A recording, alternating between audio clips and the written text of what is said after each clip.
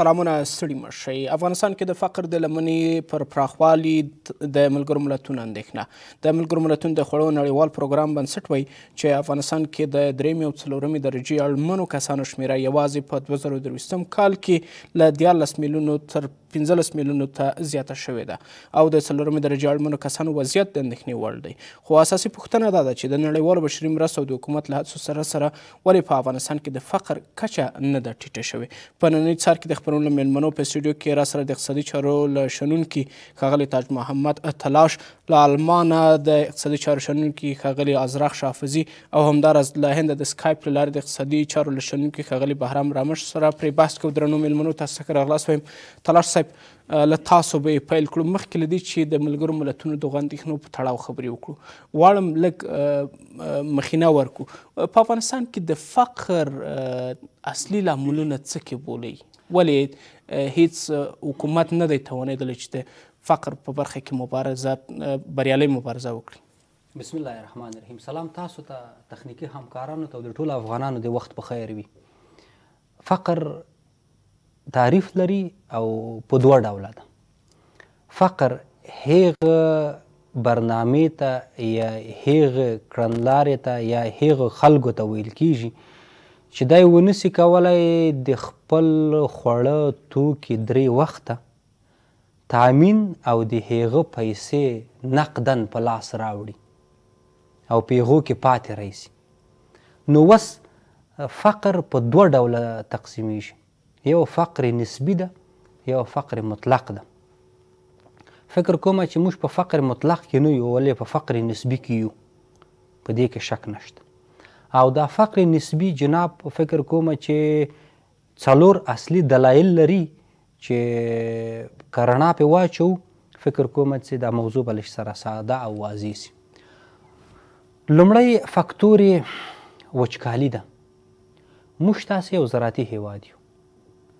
که چیرته مو وچکالي څومره اندازه زیاتیږي هغومره مو وریځو ته غنمو ته جوارو ته حبوباتو ته او همدارنګه صادراتي اقلام او میوهجاتو ته زیان رسیږي چې دا متاسفانه د یوې لسیزې نه را په دې خوا ډېره تدریجي وه دا وچکالي دا یو دلیل دویم دلیل د نفوس پراختیا ده که چیرته په یو هیواد کې نفوس بدون د اقتصادي برنامې نه پراخ سي زیات سي هدف مې د زیږون د برنامې ده نفوس په زیاتیدو سي بیا هم هغه هیواد د نسبي فقر ته ورداخلیږي او بالاخره تدریجا که مدیریت نه سي مطلق د فقر ته ورداخلیدای سي دوم دلیل دا ده دریم اساسي دلیل دا ده چې په موږ مالي نړیوالې سرچینې ټولې وچې شوې د څلور څلوېښت میلیون نفوس خلکو ته تاسو څرنګه معیشت د ژوند برابروئ؟ که دا وویو چې ټول د حکومت په غاړه خو ناممکنه ده. در حالې کې چې مالي برنامې او مالي ملاتړې برنامې ټولې وچې وي. نړیوال بانک مرسته نه کوي. پروژې دغسې ولاړ دي تاسو هم خبر یې زه هم خبر یم ټول افغانان خبر دي آسیایي پراختیایي بانک مرسته نه کوي ټولې برنامې په ټپه دغسې په سیمه ییزه په سیمه او په افغانستان کې ولاړې دي اسلامي بانک مرسته نه کوي دغه رقمې برنامې په ټپه باندې ولاړې دي سیمه ییزې پروژې نه تطبیقېږي په ټپه باندې ولاړې دي ایم آی اف قرضه مرسته نه کوي داسې په ټپه باندې ولاړه ده برنامه یې سره میاشت طلب سرخ هم ډیر تدریجا خپل بودیجې ته په 2023 او 24 کال کې کمی کړې دي دا اته هغه غټ بنسټونه دي چې نه تنها په افغانستان کې بلکې د نړۍ په اکثریت هیوادونو کې دوی اقتصادي برنامې لري اما افغانستان ته افغانستان ته لبل آینه کې ګوري دا چې ولې ګوري هغه نور دلایل لري کوم آینه کې نه ګوري دوی افغانستان ته د سیاسي عینکو نه ګوري در حال کې چې اقتصادي یو عینکه ده او سیاسي بل عینکه ده د د لیدلوری برنامه اصول مقررات تطبیقات یو تر بل ډیر تفاوت لري په افغانستان کې څلور څلوېښت میلیونه خلک ژوند کوي د حکومت په دستګاه کې چې ډیر زیات مصروف وي پنځه سوه زره کسان څلور څلوېښت میلیونو کسانو ته اقتصادي برنامې په ټپه باندې ولاړې دي په دا خاطر چې عینکه یې سیاسي ده د پنځه سوه زرو کسانو دپاره هغه ټول اقتصادي برنامې ستونزې او مشکلات یې د افغانانو دپاره خلق کړي دي دا عینکه بدله سوه که نه تعریف یې بدل سو که نه سو تر څو چې دا عینکه اقتصادي نه سي متاسفانه د موږ مشکل به هم فکر کوم چې دغه سه لا جاری وي ورسره پراخېدونکی ده ولې حکومت به مو نسی کولای چې دا کچه راټیټه کړي متاسفانه دلایل یې څه دي چې نشي را حکومت راټیټولای د یو خوا مهاجرین په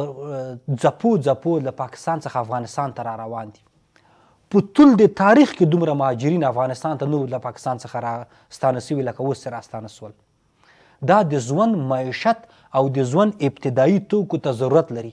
دا چې اقتصاد تامین نه کړي کومه برنامه یې تامینولی شي دا یو دلیل چې د حکومت له توانه څخه به وتلې خبره وي دویم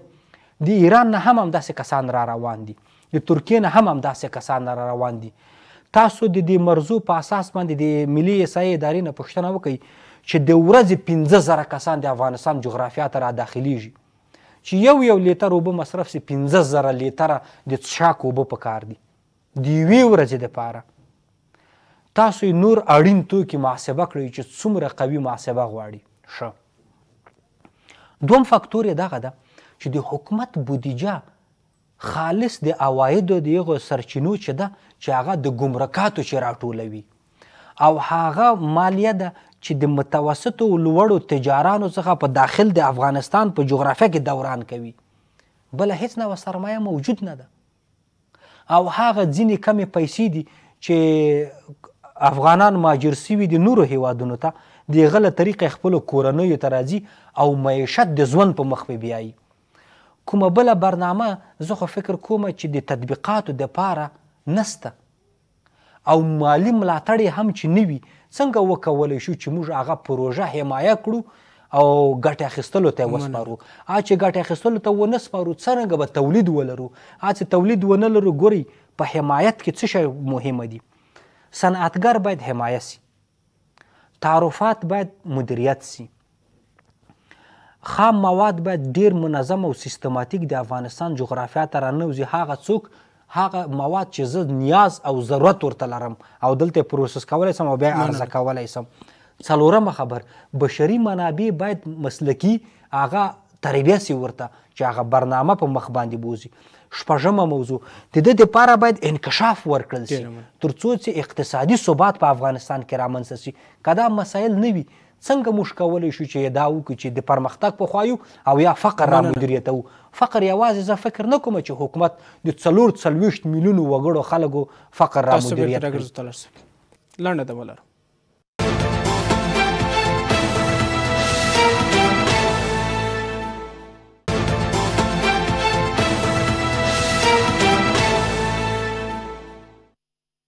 د خبرونه دوام ته راغلاست حافظي صاحب غواړم زه خپل پښتنه لا تاسو داسې مطرح کړم هغه دا چې تلاش صاحب په خپل خبرو کې ویلي چې په افغانستان کې د فقر عوامل، وچکالي، د نړیوالو ناسمه مرسته، د نړیوال بانک نه همکاري، د اسیايي پراختیايي بانک نه همکاري، بلکې دلیل یې هم دا ویلي چې هغوی له اقتصادي عینکې افغانستان ته نه ګوري، بلکې له سیاسي عینکې ګوري. ستاسو دلایل څه دي؟ په افغانستان کې د فقر عوامل په څه کې وینئ؟ سلامونه او نیک هیلې تاسو ته درومو لیدونکو ته. ستاسو محترمو همکارانو او محترمو مېلمنو ته زما له نظره خو دا یو پیچلي بحث دی دونه مختلف عوامل لري او زما له نظره ځینې نور مسایل ډېر عمده دي اول خو دا چې سیاست اقتصاد نه بېلېدونکي دي هر اقتصادي وده یو سیاسي بستر ته ضرورت لري تر څو چې یو سیاسي معین بستر شتون نه لري اقتصادي وده ناشونې دي دوهم دا چې دا زما له نظره لوی لامل د ورسته پاتیوالي او د فقر د افغانستان دا دی چې یو باثبات او مضبوط حکومت روس پورې په افغانستان کې رامنځته شوی نه دی که چیرې امنیت د شتون لري بیا بین المللي مشروعیت نشته که چیرې بینالمللي اړیکې پراخې دي بیا امنیت نشته او دلته فساد شتون لري او بیا چې دا رادیکال تغییرات راځي د هر شي د بنسټ څخه بیا تغییر وي او دا د لوی صدمه رسېږي د ټول توالی تاریخي د اقتصادي ودې لپاره نو په دې خاطر باندې کچېری منګه یو مقتدر مشروع او رسمي سیاسي ادرس ولرو دنیا سره تعامل کولای شو او د دنیا د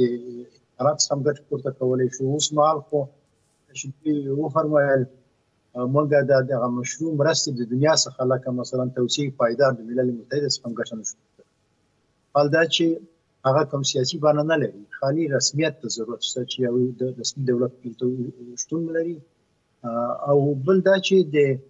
تقریبا یو سل شل کال را پدې خوا افغانستان د بهرنی مرستو په مرسته خپل غچاري سمبال کړی دي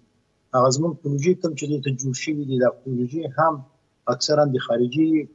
مرستو د لاري او د سیاسي مناسب بستر پر بنسټ جوړ شوی دي مثلا د ننګرهار کانال یا مثلا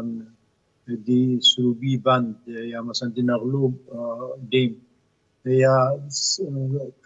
کابل ننګرهار کابل مزار شریف کابل حیرتان کابل کندهار کندهار هرات د ټول د شورویانو د امریکایانو جرمنانو په مرسته جوړ شوی مایپر مثلا د جرمنانو په مرسته جوړ شوی دی مثلا د نغلو د شوروي اتحاد د وخت څخه جوړ شوی دی نو کله چې بینالمللي مناسبات شتون نه لري او بینالمللي مشروع مرستې شتون ونه لري یوازې په داخلي منابعو یو ریاضتي اقتصاد دی او دا ریاضي ریاضتي اقتصاد نشي کولای چې دا ستونزې هپاره کړي په دې چې اول خو دا نفوس زیاتیږي په کال کې تقریبا شپږ سوه اووه سوه زره نوی ماشومان راځيږي او نور خلک لویږي کار دګر داخليږي دوی ته نه کار شته او نه بل مسله یو نه یو منظم اقتصادي برنامه شتون لري په زما له نظره په اول قدم کې موږ یو سیاسي مناسب بستر ته ضرورت لرو او بل یو تداوم ته ضرورت لرو د مثال په توګه مثلا شل کاله د جمهوریت په نوم یو شی هغه بالکل نسکور شو او ویل چې غلط وو صفر څخه بیا یعنی حافظي صاحب په بخښنې سره حافظي صاحب تاسو وایي چې زموږ په هیواد کې د حکومتونو نه تداوم د دې لامل سوی چې فقر لمنه نور هم پراختیا پیدا کړي سمه ده یو یو دلیل هم دی دغه دی ځکه چې خپل خدای جنگونه تاسو مثلا په دې تیر ډیر سروي خلکو وګورئ چې څو رئیسي جمهوران وژل شوي دي څونه تښتېدلي دي او څومره د اداري سیستم او اقتصادي سیستم د افغان افغانستان ویجاړ شوي دي څومره په دای سیاسي برخوردونو کې څونه سراک څونه بنسټیز یعنی دا سټرکچر بنسټیز ساختمانونه د افغانستان ویجاړ شوي دي او دا په خپل خو د لوی زیان دی او غریب هیواد لپاره دونه تاوان تحمیلول دا ممکن نه دي یعنی زمونږ اقتصادي ودې څوک کېدل یا مثلا په تب درېدل سیاسي لامل او که چیرې موږ یو سم سیاسي بستر ورته ولرو هم دننه په افغانستان کې امکانات دی وایي مننه کوم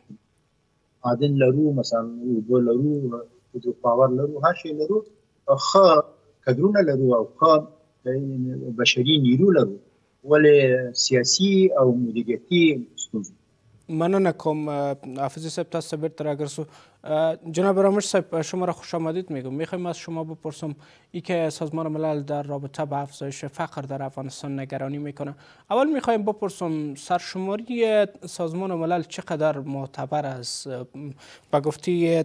گزارش تازه WFP که در سال 2023 شمار افراد نیازمند از 13 میلیون به 15.8 میلیون افزایش یافته چی فکر میکنین اساس سرشماری سازمان ملل چی تشکیل میده در حالی که گفته میشد سرشماری درست از نفوس افغانستان هنوز وجود نداره چی برسه به که افراد نیازمند به این گونه سرشماری شوند سلام عرض ادب خدمت شما خدمت مهمانان عزیز شما در برنامه همکاران عزیز و همچنان شنوندگان و بینندگان محترم تلویزیون شما با معذرت اگر کمی با تاخیر وصل شدم در برنامه ببینیم اول خود اجازه بدیم یک صحبت راجب فقر در کل داشته باشم باز خیلی زود میام در سوال شما اگر کوتاه ببینیم فقر لیول های متفاوت داره نسبت به هر کشور نسبت به هر فامیل مثلا یک فامیل در یک ماه شاید اگر سی هزار افغانی داشته باشه او در سی هزار افغانی او شاید فقیر نباشه اما کسانی هستند که در یک لگ اگر آیدار داشته باشند اونا مشکلات اقتصادی دارند فقر فقیر گفته میشن مثلا اگر ما اجازه بدیم که یک صحبت از کشور سنگاپور و جامیکا داشته باشیم که این دو کشور با وجودی که یک جغرافیه تقریبا برابر داشتند و هر دو در آیسلند بودند سنگاپور چطور توانست که مشکلات اقتصادی خود رفع کنه و اما متاسفانه جامایکا نتوانست این مسئله را به خاطر میدم که ما بتونیم چطور از اونا بیاموزیم اگر من مختص بیام به سوال شما ببینیم وقتی که تحقیق میشه تحقیق از کل نفوس از کل جگاه نمیشه از کل قریجات افغانستان از کل ولایت افغانستان این مشکل است و همچنان شما گفتیم که سرشماری نشده معمولا محققین یک سمپل میگیرن از چند مناطق افغانستان یک ارزیابی میکنن اونا ازیوم میکنن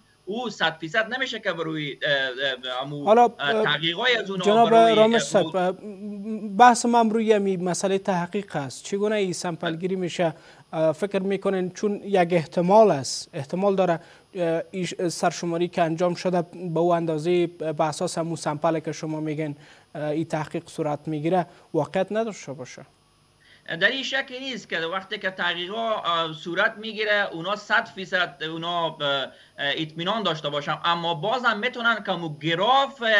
حد اکثر اونا ارزیابی کنن خویی خب در این شکل نیست که از روی اخبار از روی صحبت که آماده از روی گراف فقره که در افغانستان آماده از روی ازی که مردم افغانستان ترک کردن از روی ازی که مردم بیکار شدن میتونن یک ارزیابی از یومی بکنن و معمولا یک سمپل از چند مناطق که گرفته میشه او اگر در کلم گرفته نشه اون نمایندگی کل کشور میکنه با وجودم این صحبت هایی که در بحث ورد شده در بحث جامعه جهانی شده گراف فقر در افغانستان صحبت میکنن من فکر میکنم گراف فقر بالاتر از او چیزی که هست که اینا اینا صحبت میکنن چون که من خیلی هم نظر هستم همراه شما نه تنها موضوع نفوس نفوس شماری تنها بس بروی ولایات درجه اول هسته د ولایت درجه دوم ما ولایت درجه سوم ما قریجاتی که حتی مسیر سرک منظم ندارن مسیر ترانسپورت ندارن اونا نمیشه که تنها به یک ازمشن و تنها به یک ازیوم اونا بتونن صحبت کنن کسانی هستند که نه تنها به خاطر موضوعات فقر امروز دوچار مشکلات قضایی هستند اما جان خود را دست میدن این موضوعات خیلی واضح نشده در در در تحقیقا نیاز است که زیادتر در این موضوع تحقیق و در روی تحقیق باید سرمایه گذاری بزرگتر انجام شد ممنون شما به شما برمیگردم تلاش صاحب ښاغلی حافظي صاحب ویلي چې په افغانستان کې د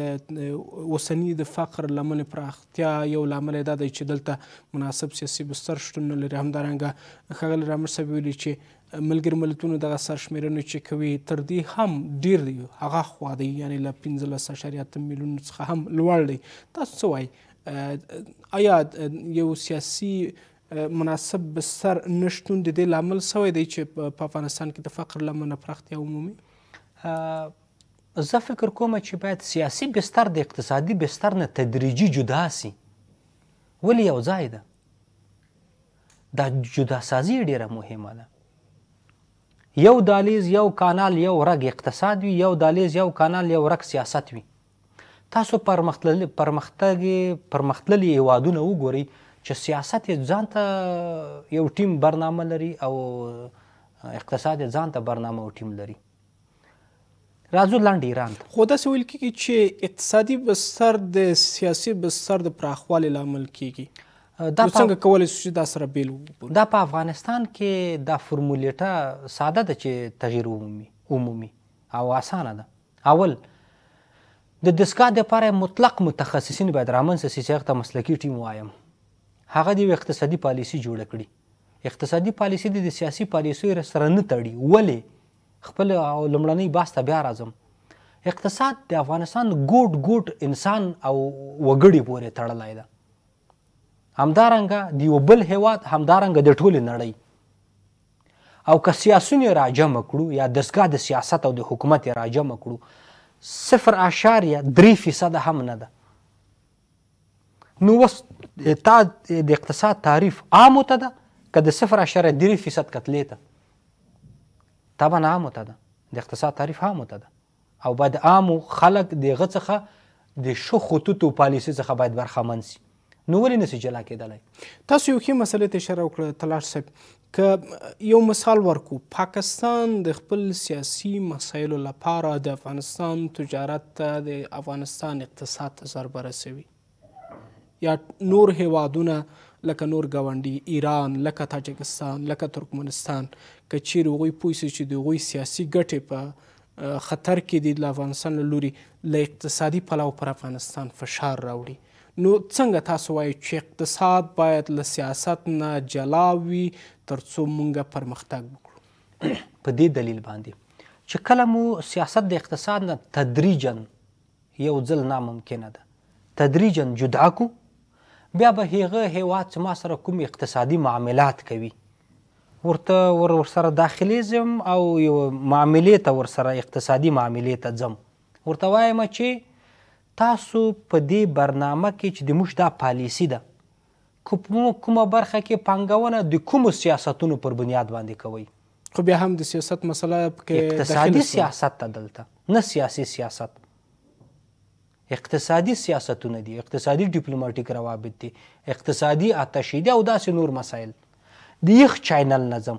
چی هلته د خلګو د د ژوند معیشت پیغم برنامه او مسله پوری تړلی. که داسی په بښنی سره تلاش صاحب که داسی ویل سی چی اقتصادی سیاست باید بیل وی او سیاسی سیاست باید بیل وی. دغه هدف هم دا ده چی دغه دوه باید سره جدا وی کله چی سره جدا شول بیا موږ کولی شو چی یوه شه اقتصادی ډیپلوماسی ولوبوو په میدان او په ډګر کی.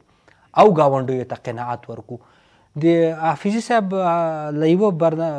نظر سره موافق یم په دې خاطر په افغانستان کې بعد د جمهوریت د نظام د سردار داود خان د نظام د ړنګېدو نه وروسته داسې یو مقتدر متداوم نظام رامنځته نسو چې هغه اقتصادي پالیسي د سیاسي پالیسیو چې جدا کړي هغه ته یو ټیم وټاکي دې ته بل ټیم وټاکي دای دواړه همزمان دواړه په مخ بوزي هم سیاسي پالیسی هم اقتصادي پالیسی داسې یو مقتدر رهبر په نظام کې متاسفانه په د سردار داود خان د چاپه کېدو نه تر د اوسه پورې څرک ونه لیدل سو چې دا برنامې دواړه متوازنې په مخ بیوسي او بستر اقتصادي برنامو ته هموار کړي. ده ته ویایو مدیریتي ضعف. دا مدیریتي ضعف مو په تول دی تاریخ کې لرای. اوس باید د تاریخ نه فکر کوم چې عبرت واخیستل سي.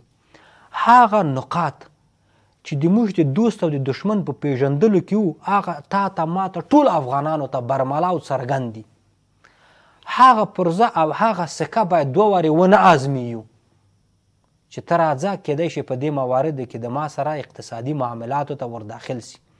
واضح باید وایو چې پاکستان د موږ اقتصادي دشمن ده دا نه دوست کیږي د پاکستان د پاره موږ باید بدیل لارې بدیل ترانزیټ، بدیل تجارت، بدیل صادرات، بدیل واردات، بدیل کسر د بیلانس او تجارت باید تحلیل کو او دغه د پاره وسنجو دا باید واضح ووایو چې د ایران سیاست اقتصادي سیاست نسبت د پاکستان نه او نسبت د هند نه او نسبت د تاجکستان نه او نسبت د چین نه ښه ده او هغه هم د مجبوریتونو په اساس باندې که د امریکا تحریمونه په هغه باندې نه وای هیڅ کله به دومره تعاملات د افغانستان سره په اقتصاد کې نه وکړي خو دا باید وپیژنو او د پیژندلو په اساس باندې موږ باید بدیل اقتصادي پالیسی باید ولرو او هغه حمایت کو لنډه دمه لرو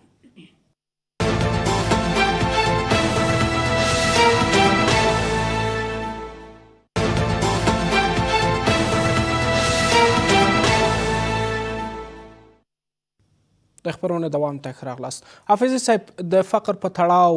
د نړیوالو په خصوصا د ملګرو ملتونو اندېښنې څومره پر ځای دي په داسې حال کې چې اسلامي امارت وایي موږ د فقر د کموالي لپاره برنامې تر لاس لاندې لرو یا له نړیوالو مرستندوی بنسټونو سره همکار یاستو ترڅو وکولی سو دغه کچه چې که نړیوالې په خپل ریپورټونو کې یادوي چې لوړ سوې ده راټیټ کړو څه فکر کوئ آیا د دوی اندېښنې پر ځای دي او که نه اگر سازمان ملل متحد اندیشه داشته باشه یا نداشته باشه خود ما بچشم خود میبینیم که مردم بسیار پریشان هستند حتی ایسایای وجود داره که مردم فرزندان خدا میفروشند اعضای بدن خدا میفروشند از یک حد وضعیت نابسامان و پریشانی مردم بیشتر بوده نمید اما ای که اونا ایسایای میتن گای 20 میلیون و گای 15 میلیون و گای 30 میلیون من به ایسایای خود در موافق نیستم به خاطر از که اول که تناقض دیگه وجود داره یک روز یک چیز میگن یک روز یک چیز میگن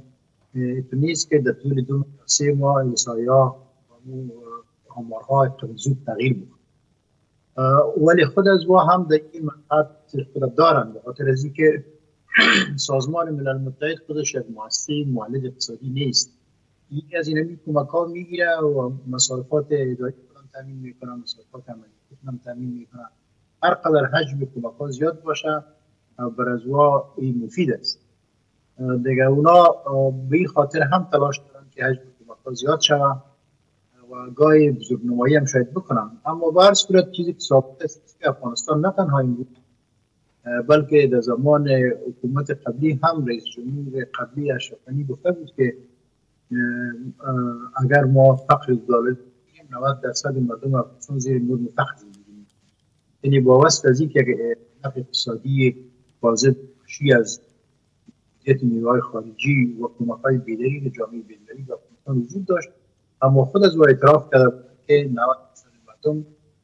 زیر فقر بودالری است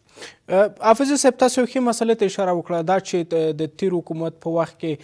په داسې حال کې چې نړیوالې مرستې په ډیره کچه باندې افغانستان سره کېدلې خو بیا هم د فقر په کچه کې ټیټوالی رانغی ستونزه په څه کې ده دا د مرستو د ویش په لړۍ کې ستونزه ده او که بل څه ده یه هم بسیار مختلف یک دلیل عمده مفهوم است که این کامدن یا دولت شوکی بودن یعنی که اینا بد مردم بر نخواسته بودن یا مردم اینا وقتی که به قدرت رسیدن یک برنامه مدون اقتصادی نداشتن یا یک برنامه مدون رفاه اجتماعی نداشتن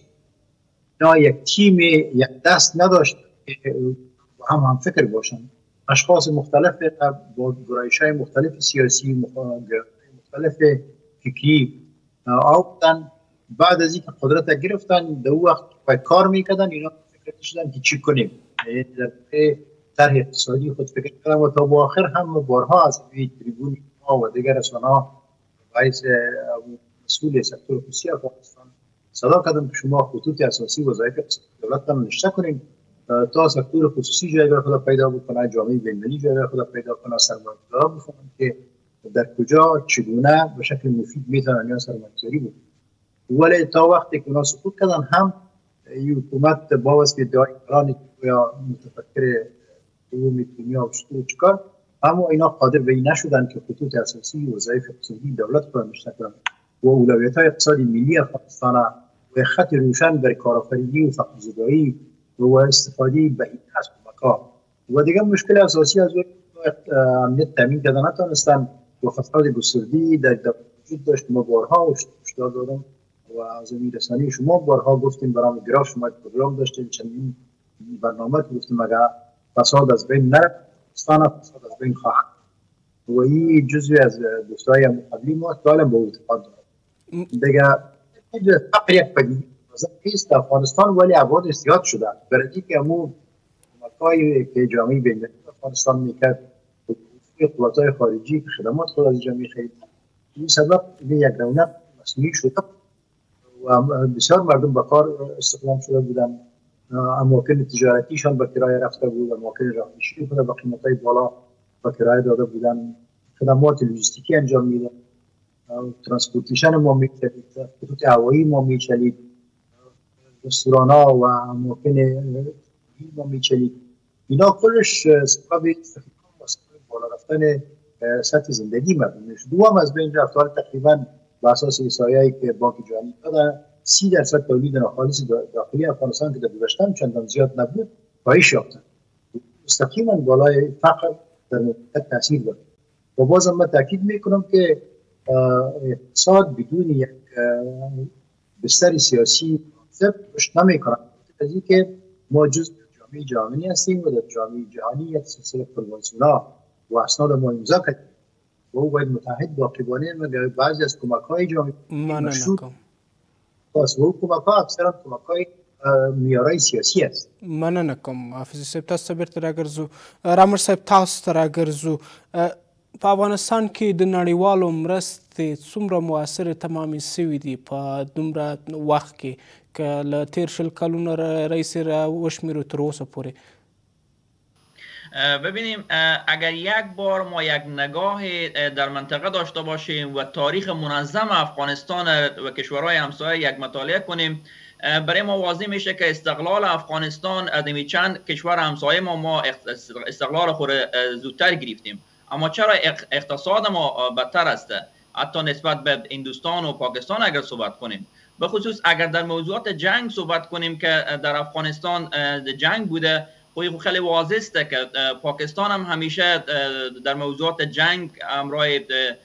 هندوستان پرابلم داشته هند همراه چین پرابلم داشته و همچنان ایران ما نمیتونیم خیلی آزاد بگیم ایران در موضوعات جنگ در کشورها همیشه دخیل بوده این چطور است که اونا اقتصادشان از افغانستان بهتر است یک فرقی که داره او کشورها که اگر جنجال دارند جنگ دارند بین کشورها با هم پرابلم دارند اما در افغانستان چطوره در افغانستان مردم افغانستان مردم افغانستان میکشند مردم افغانستان به مردم افغانستان جنگ میکنند این مشکل مهم است در موضوعات کلی وقتی که در کشورها بین هم دیگر جنجال دارند اما بس در سطح ملی که میایه بین عذابشان بین مردمشان بین نشانشان یک یونیتی دارن یک اتفاق دارن که متاسفانه انموی چیز در افغانستان نبوده و نیست یعنی منظور شما منظور شما مسائل داخلی افغانستان باعث افزایش فقر و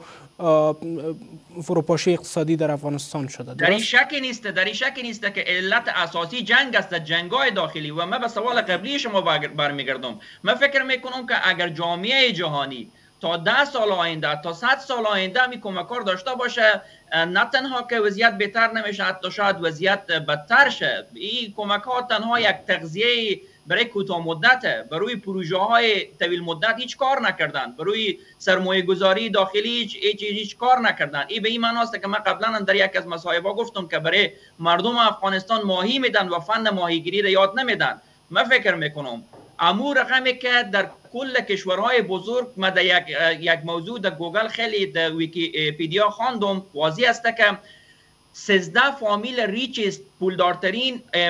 اقتصاد کشورها را در کنترل خود گرفتن افغانستان همیشه در عین این موضوع ده فامیل یا 15 فامیل اقتصاد افغانستان سیاست افغانستان همیشه در کنترل گرفتن من فکر میکنم امیت که میمونا گفتن تا سیاست از اقتصاد جدا نشه همیشه ما در پرابلم خواهیم بود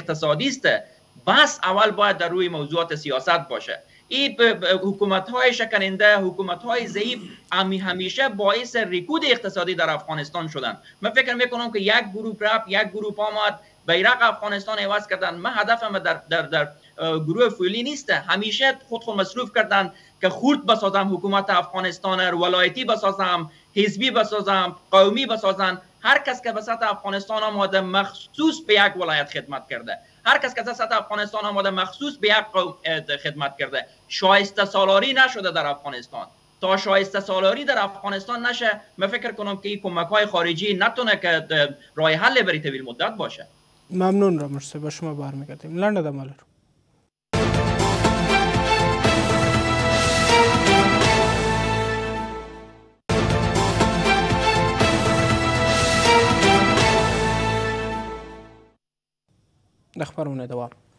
تلاش صاحب اوس څه کول پکار دي د افغانستان د فقر د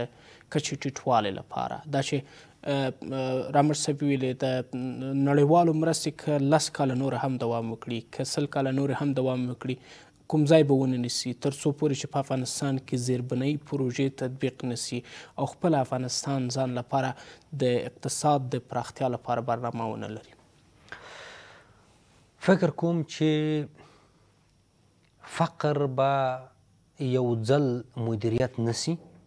خو ګراف یې راټیټېدلی سي او تدریجا بیا د وخت په تیریدو سره له منځه تلای سي که د دنیا په هر هیواد کې وګنئ ګورئ فیصدي د فقر سته په امریکا چې امریکا ده خپله ډیر یو قوي صادرونکی هیواد ده او اکثریت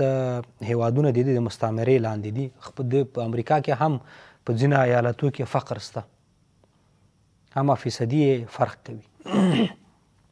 افغانستان کې هم دغه فرمول ده فکر کوم لمړی داخلي عواید داخلي عواید چې لاس ته راځي د ملي عوایدو په اساس باندې دا باید په داسې برنامو پروژو ولګول شي چې هغه ډېرې ماوتا ته حیاتي او اساسي وي مثلا د معدنو نه چې څه پیسې مخ لاس ته راځي هغه باید په سکتور د انرژي او اوبو او سولر سیستم ولګیږي. د ګمرکونو څخه څه چې پیسې لاس ته راځي هغه باید د افغانستان د په ترانزیټ باندې ولګول شي. مثلا د وړو تصدیو نه چې څه پیسې لاس ته راځي هغه دې د حکومت سازي د ډیجیټل سازي په اقتصادي سیستم باندې ولګول شي. داسې معاملات چې د یوه نه راخلې او په بل باندې یې لګوې دا داخلي د تا سیاست ده چې د ننه په بدن کې دې خپل اقتصاد جوړوې تراڅې موږ د خپله بدن څخه جوړ نه سو بیرونیان هم ابراهیم خیل صاحب نسی جوړولای او نه بم جوړ کړي او نه دا اراده لري چې موږ جوړ کړي او که جوړم کړي بیا به یو ډیر قاطع خطرناک هیواد او وګړي موږ ولرو خو دا فرصت وس هم لرو دومه خبر دا ده چې موږ باید مسلکی اقتصادي پالیسی د سیمې هیوادونو لپاره ولرو د ترکمنستان لپاره یو ځانته اقتصادي پکیج وي د پاکستان لپاره ځانته وي د هند لپاره ځانته وي دا په یو بل سره په ټکر کې نه وي هغه پکیجونه چې موږ ته د هغه مستقیم ګټه نظام او اقتصادي اوضاع ته را داخلېدای سي. درېیمه خبره، موږ باید داسي اقتصادي سیاست د ننه ولوبوو چي هغه جنس چي په افغانستان کي خام مواد دي، تولیدېږي، مستهلک یې اخلي او بازار لري. هغه باید حمایت کو هم جنس چای چې د بار باندې څخه را واردېږي یا د بهرني هیواد څخه واردېږي تعرفه دې په لوړه سي چې په بازار کې رقابت ونسی کوي تلاش صاحب دا خو په اوږد مهاله کې هغه برنامه وي چې دا داخلي برنامه دي داخلي اوږد مهاله برنامه دي خیر ک ک اوس د فتن ملګری ملتونو وایي چې د فقر کچه د هغه اړمنو کسانو چې شمیر له 1415 شریعتو تر رسیدل دی اوس موقتا باید څه وسي چې دغه ګراف راټیټ سي؟ دې کې دوه سواله پیدا کیږي. دا کار چا کړی؟ ولې؟ خو دا ګرم او دا ولې او دا چا کړی بیا نړیوال بانک او نړیوالو ته ورځي دا د ډبلیو اف پي ته ځي نړیوال بانک ته ځي امریکا ته ځي دا سوال بیا له دوی کیږي ته چې په میانمار کې داسې یو بې ثباته هېواد ده لکه ما او ته یې چې وینو. اقتصادي پروژې او برنامې لرې په افغانستان کې ولې نه لرې؟ ته چې میانمار ته خوراکي توکي نړیوال خوراک سازمانه منظم سیستماتیک او مسلکي توګه رسوي افغانستان ته ولې نه رسوي ته چې په میانمار کې مختلفې بیمه برنامې کمه ده الته کمه نه ده دلته کمه ده بیا هغه خبرې ته تکرار ته راځم چې دوی سیاسي آینه کې نه اقتصادي آینه کې ته ګوري فشار راولي په اقتصادي برنامي تر څو چې سیاسي برنامو ته تن کیږي او دا مسله هم یادونه وکړله چې نړیوال بنسټونه د دې لپاره چې وکولی سي زیات مرستې ترلاسه کړي له هیوادونو نه یو څه بزرګنمایي کې دغه مسایل دې سره څومره موافق یاست په دې کې شک نشته ولې دا سوړ اقتصادي جنګ ده دومره میلیونه خلک وږي دي دومره میلیونه له فقر سره مخامخ دي دومره میلیونه مري دومره میلیونه سوی تغذي سوي دي دومره میلیونه مهاجر دي دومره میلیونه مثلا غذایی مواد نه لري دومره میلیونه کسان صحت د پاره مشکلات صحي مشکلات لري دومره میلیونه کسان آه نورو هیوادونو ته نشي کلای دومره میلیونو کسانو د پاره کار نشته د دومره میلیون د کسانو د پاره زمينه د تحصیل او نورو مسایلو مسایده نه ده دا هغه آمار دي دا هغه خبرې دي او دا هغه افوات دي چې په دې کې سوړ جنگ ته لمن وي او د افغانستان جغرافیا داسې یو جزیره شي چې دا جزیره د کرې په ځمکو کې خرابه جزیره ده ورتګ مه کوئ سرمایه ګذاري مه کوئ خلک یې په معیارونو په اصولو په نظامونو نه دی بلد ټکنالوژي سره نه دی بلد او دا دغه هغه افوات دي چې سرمایه افکار اقتصادي مخشوشوي او نه پریږدي چې تطبیقاتو ته سړی ورداخل شي در حال کې چې افغانستان ان شاء الله یو سرشاره طبي هیواد ده اوبه لري ترانزیټ لري، معدن لري، زراعت لري، انرژي لري، بشري منابع لري. شپږ غټې اقتصادي منبع لري چې دغه نه باید استفاده وکړو موږ ان شاء الله پرمختګ کوو مننه کوم حافظ صاحب حل لاره څه ده د فقر د کموالي لپاره بیا هم زه عرض کوم چې دا یو پیچلی سوال دی او معقلا د ټولو ویلی اول افغانستان نو باید یو مناسب سیاسي ادرس تر څو چې کچه ونه په افغانستان کې شته نوي انستیتوتونه کوم جهاني لکه آی ایم ایف اسیایي زنده یا دوی هم د تیرا کولې چې دوی پروژې څو چې دا سیاسي دا ستر کارونه نشي ډېره مننه کوم حافظ صاحب رمټ صاحب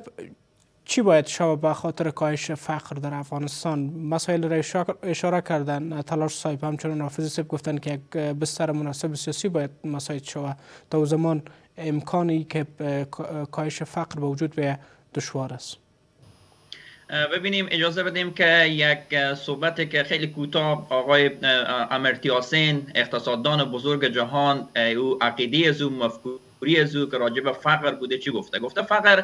از عواملی که از عوامل جغرافیایی بیولوژیکی اجتماعی که باعث کاهش درآمد افراد میشه همچنان گفتن فقر ناشی از محرومیت فرد از عناصر مانند آموزش، صحت، عدالت، اعتبار، منابع تولید و در کل اینا دسترسی شان کم میشه و همی موضوعاتی که در همی تعریف آمرتیا سین اقتصاددان بزرگ جهان گفته شده همی موضوعات در افغانستان هم صدق میکنه فعلا در افغانستان آموزش نیست صحت خوب نیست عدالت خوب شاید نباشه اعتبار بین تجار ما نیست منابع در دسترس شان نیست چرا این دوستان همیشه اقتصادشان با وجود که زیر تحریم ها است نسبت به افغانستان بهتر است آیا جواب میشه تنها همون نفت بگیم که ایران نفت داره ما با ایران یک جغرافی یکسان و برابر داریم چرا ما نفت ما نداریم در این شکی نیست که شاید ما هم نفت داشته باشیم اما کشورهای همسایه ما کشورهای منطقه که غیر مستقیم در افغانستان کشورهایی که اجناس شانر در افغانستان میفروشند اونها در افغانستان حکومت میکنند مارکت افغانستان در کنترل دارند کسانی که مارکت افغانستان چون افغانستان یک کشوری که استفاده کننده تولید کننده نیست و زراعتی هم که ما داریم سیستماتیک نیست نتونستیم که ما زراعت افغانستان در سطح اینترنشنال رو برابر کنیم اینترنشنال خو خیر بانیم حتی در سطح می کشورهای همسایه خو ما نتونستیم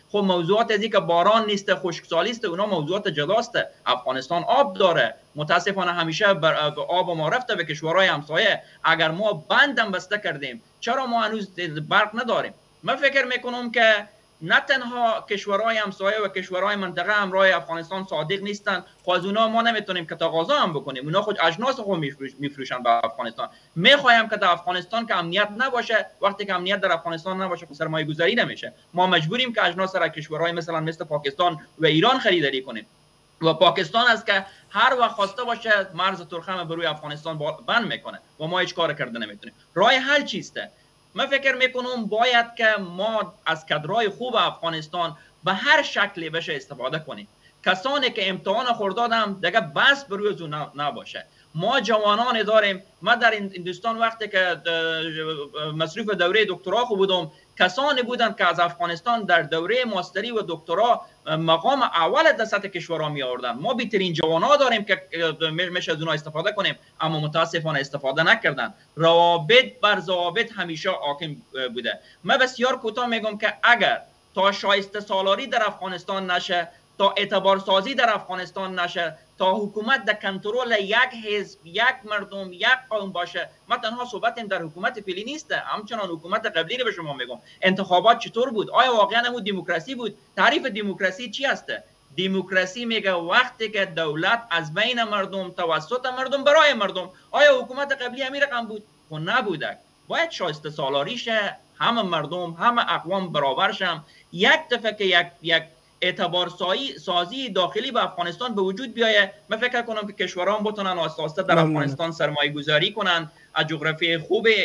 افغانستان استفاده کنند نقطه وصل بین کشورها شیم شاید بتونیم که آسته آسته از این مشکلات فقر بیرون شیم و گراف فقر در کنترل بیاریم تشکر جناب رامش صاحب خغلی حافظی صاحب همدارنګه خغلی تلاش صاحب چې په خبرونه کې مرسره برخه واخیستله له همدې سره د نن ورځې څار خبرونه هم دلته پای ته رسېږي تر بیا هم په لوی بکون کې خدای سپارم د الله په امان